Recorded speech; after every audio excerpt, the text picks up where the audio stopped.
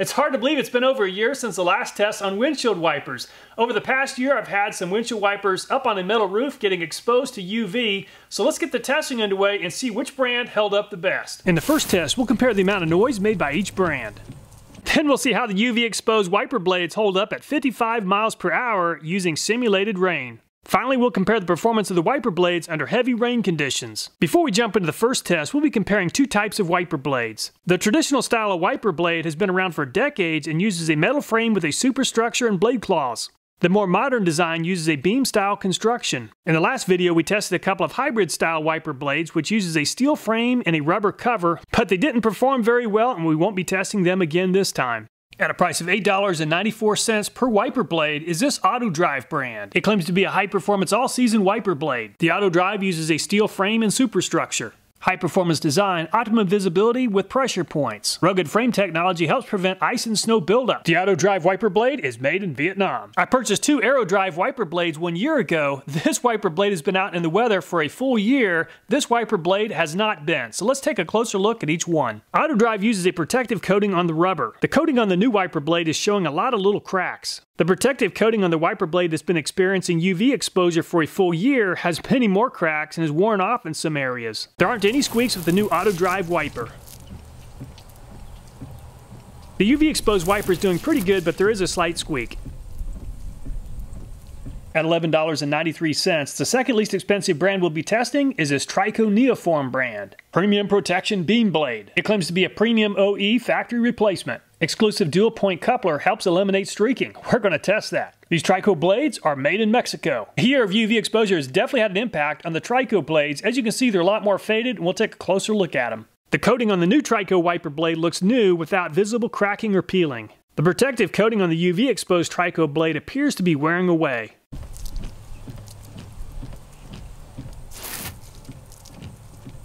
The new and the UV exposed Trico wipers are definitely noisier than the AutoDrive. At $12.07 per wiper blade, the third least expensive brand we'll be testing is made by Valeo. It's a 600 series premium wiper blade. Valeo claims to be the number one worldwide wiper system manufacturer. The Valeo uses a steel frame and superstructure, synthetic plus natural plus coating. There's no information on the Valeo box indicating where these blades were manufactured. The coating on the new Valeo looks very similar to the coating used on the AutoDrive. The UV exposure has definitely caused the coating to break down some. The Valeo is definitely noisier than the AutoDrive. The UV exposed Valeo is making about the same amount of noise as the new blade. At a price of $16.98 is this AERO quality all-season rubber wiper blade. The AERO uses a beam style construction. It claims their durable material offers more thermal resistance and longer performance life. Specially blended rubber delivers smooth, clean, streak-free, and chatter-free wipe. We're going to test that. The AERO wiper is made in China. The coating on the new AERO wiper is in great shape without any fractures like the AutoDrive or the Valeo. The coating on the UV exposed blade appears to be breaking down a little. There's a slight squeak with the AERO. The UV exposed AERO wiper is squeaking even more. At a price of $18.94 is this Bosch Icon brand. The Bosch Icon blade we'll be testing uses a beam style blade. The ClearMax 365 is a rubber wiper blade. The ClearMax 365 uses a unique rubber technology. This technology combines a soft rubber core with a powder coated shell which protects the wiping edge from ozone, deterioration, snow, sleet, rain, and road debris for longer life. It claims to reduce wiper friction for quieter performance. The Bosch blades are made in China. The UV exposed Bosch icon doesn't show any visible deterioration. A very small squeak with the Bosch icon. The UV exposed Bosch Icon is making about the same amount of noise. At a price of $19.47 are these Michelin silicone blades. Durability tested 2 million plus wipes. Extreme weather performance. It claims to last two times longer. The Michelins are made in Vietnam. The blade that hasn't been exposed to UV is on top, the one that has is on the bottom. There's definitely some type of coating that's been used on the wiper blades. The UV exposed Michelin doesn't show any visible deterioration.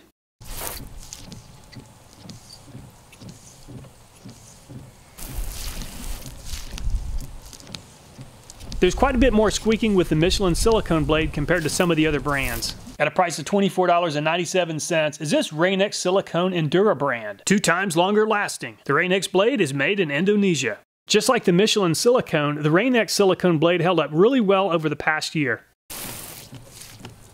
The Rain-X silicone is definitely quieter than the Michelin silicone.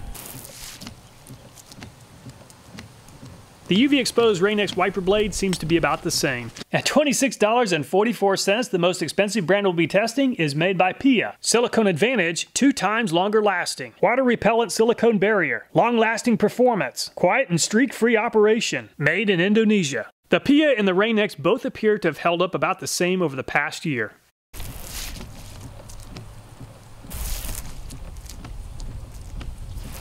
The new and the UV exposed PIAA wipers seem to be making about the same amount of noise as the Rain-X. To simulate light to moderate rain conditions, I put together a rain simulator on my pickup. There's a spray nozzle aiming down at the front windshield. The plumbing from the spray nozzle runs all the way back to the pickup truck bed where there's a generator, a shallow well pump, and a 150 gallon water tank. Instead of it raining all the time, I can just push a button and start the rain. I'll be testing the wipers at 55 miles per hour. Let's go ahead and test the UV exposed wipers beginning with the AutoDrive brand which is on the driver's side of the vehicle. The AutoDrive wiper performed well on the sweep to the left but water can be seen spilling over the top of the wiper element on the downward sweep to the right. In heavy rain conditions the problem would be even more noticeable. The Trico performed very well on the sweep to the left as well as the sweep to the right. The beam style design definitely helped it perform better than the auto drive on the downward sweep with very little water spilling over the top of the beam.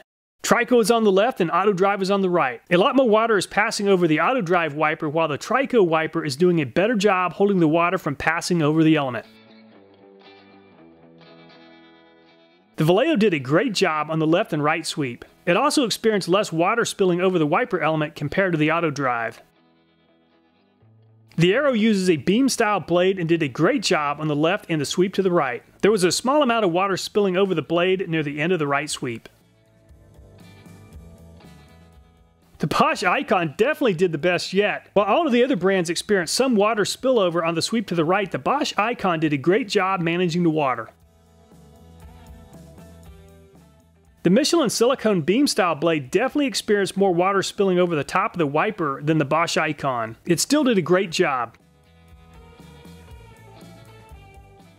The Rain-X silicone beam style blade seems to be very well designed. It seems to have performed just as well as the Bosch Icon. The Michelin is on the left and the Rain-X is on the right. The Rain-X definitely seems to be doing a better job managing the water while the Michelin had a little bit more water spill over the wiper blade. The PIAA silicone beam style blade performed very well. There was a small amount of water spillover on the sweep to the right. Very often when I get caught in a heavy downpour, traffic comes to a near stop. When you're just about stopped, rain visibility becomes even more challenging. So let's test the wipers using even more water spray while the vehicle is sitting still. With heavier simulated rain conditions, there's quite a bit of water streaking with the AutoDrive brand on the sweep to the left and even more on the sweep to the right. The Trico experienced quite a bit of water streaking on the sweep to the left, but a little bit less water streaking on the sweep to the right compared to the auto drive. The auto drive is on the left and the Trico is on the right. There's quite a bit more water streaking with the auto drive in the middle part of the windshield, but the Trico had quite a bit near the bottom. There's quite a bit of streaking on the left sweep.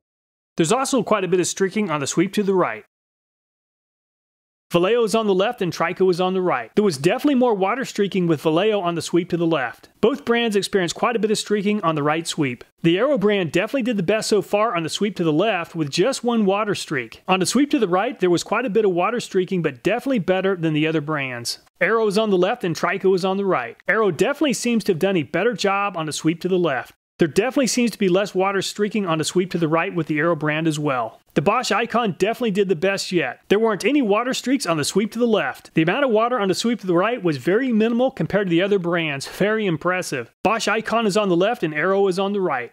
While both brands did a terrific job, the Bosch Icon definitely delivered a cleaner sweep to the left and to the right. The Michelin wipers did a pretty good job on the sweep to the left with a small amount of water streaking from the top of the wiper. The Michelin definitely didn't seem to do as well as the Bosch Icon on the sweep to the right. The Michelin is on the left and the Bosch is on the right. Both brands did well, but the Bosch Icon definitely did a better job on the sweep to the left and to the right. The Rain-X silicone blade did fairly well, but left a streak on the sweep to the left. The amount of water left behind on the sweep to the right is definitely more than the amount of water left by the Bosch Icon. Rain-X is on the left and Bosch Icon is on the right. The Bosch Icon definitely seems to have done a better job managing the water on both the left as well as the right sweep. The performance of the PIAA silicone wipers looks nearly identical to the performance of the Rain-X wipers. Both experienced a small amount of water streaking on the sweep to the left and several streaks on the sweep to the right. The Bosch Icon definitely seems to have done a better job. PIAA Silicone is on the left and Bosch Icon is on the right. The PIAA Silicone is definitely leaving behind more water than the Bosch Icon, so it's Bosch Icon for the win.